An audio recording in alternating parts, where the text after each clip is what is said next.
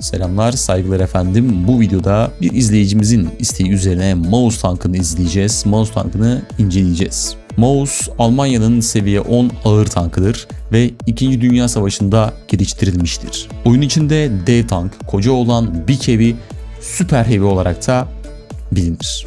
3000 can puanı ile en yüksek can puanına sahip olan tanktır. Gövde zırhı ön taraf 200 mm, yan zırhlar 185 mm ve arka zırh ise 165 mm'dir.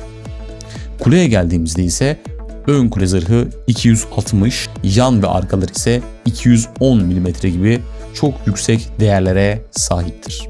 Ancak düz zırh yapısı nedeniyle yeterli penetrasyona sahip toplarda kule ve gövde yan, arka taraflardan kolaylıkla delinebilir. Buna rağmen Mouse BK'sı ile öne çıkan bir süper heavy'dir.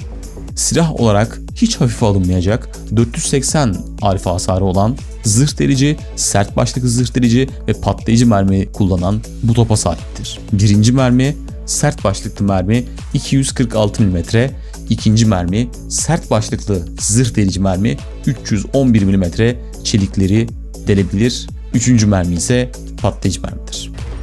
Topumuz 12.75 saniyede yükleyebilir.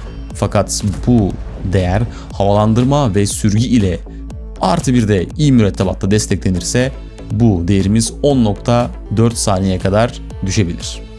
Ve neredeyse TPM'imiz 3000'e 2800'e kadar yükselir. Topu taret dönüşünde son derece düşük dağılım kaybı ve genelde hareket halinde iyi hassasiyete sahiptir. Top kontrolünün çok çok iyi olduğunu söyleyebiliriz. Ancak delme oranları seviye 10 için biraz düşük kalabilir. 190 ton olan bu Alman danası 1700 beygirlik motor ile 20 km ileri 15 km geri hızına çıkabilir. Eğer turbo şarj ile bunu desteklerseniz ileri hızının 24 km, geri hızın ise 17 kilometreye kadar çıktığını görebilirsiniz. Ve neredeyse tüm tankların enkazlarını kolaylıkla itebilir. Tabii ki Maus ve küçük Maus olarak bilinen Maushan hariç.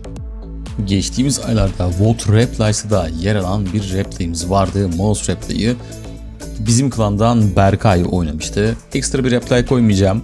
Şu replay kanalıma geldiğinizde zaten göreceksiniz. İzleyici su ısıtma tanklı mouse diye geçiyor.